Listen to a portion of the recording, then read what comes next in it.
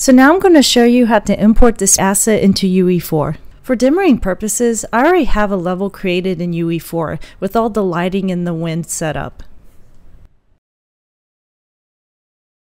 To import asset, I want to go to the content browser and click the import button. The window browser will appear and you'll see all the files. So I'm just going to select the ST file here, I want to include collision, enable creating materials, include subsurface, and I also want to include vertex processing. This basically means I'm including the wind data.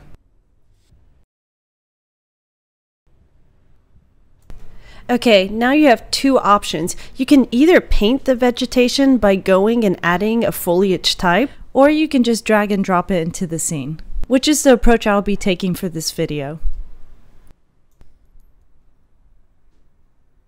And here's our tree in the UE4 scene. Now I'm just going to get a little closer to the tree so I can see how the textures look.